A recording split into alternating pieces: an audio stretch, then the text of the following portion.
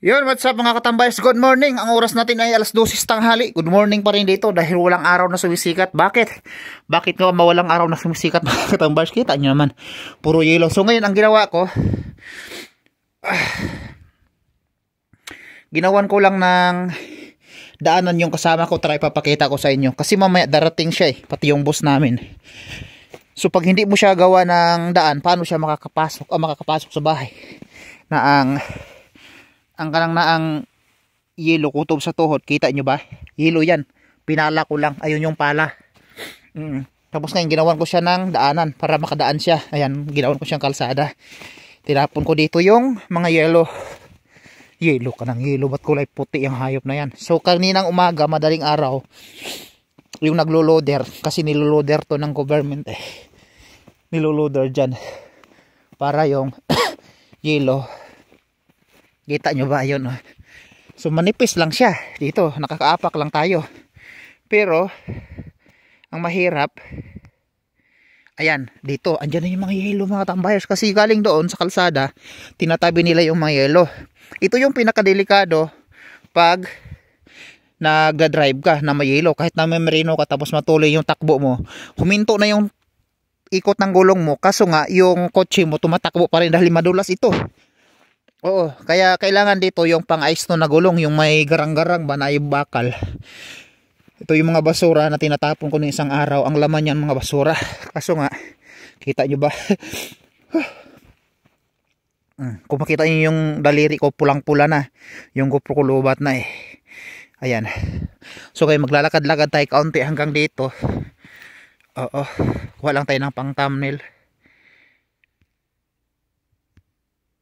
Ah. Paano ba magkuha ng thumbnail dito? Teka lang. Ayun. Papakita ko lang sa inyo mga katambayers. yung mga Canada, Canadian dito. Alam nyo ba? Yung mga Canadian. Takot na takot mga katambayers. Takot-takot mo lumabas. Kita nyo naman. Oh.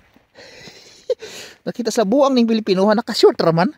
Unya ni Anhan Hidrin. Lakaw-lakaw sa kuwan. Kita nyo. Nakashort lang ako. Oo. Oh, oh. Nakashort lang ako.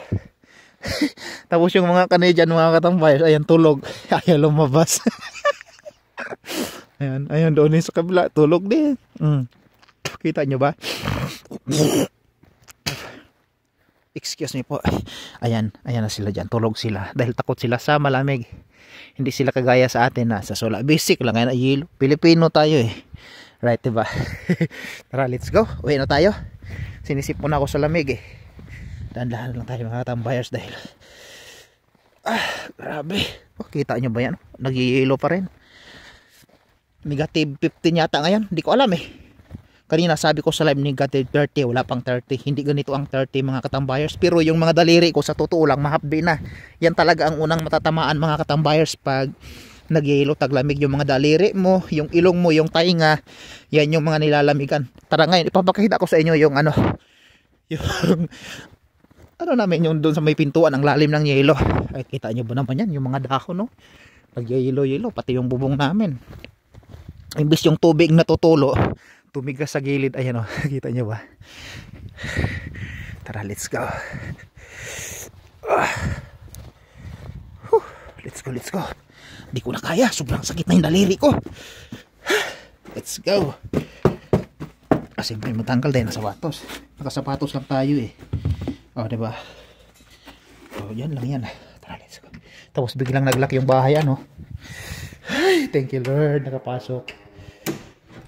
Bye-bye. Dito na tayo sa loob. Bye-bye.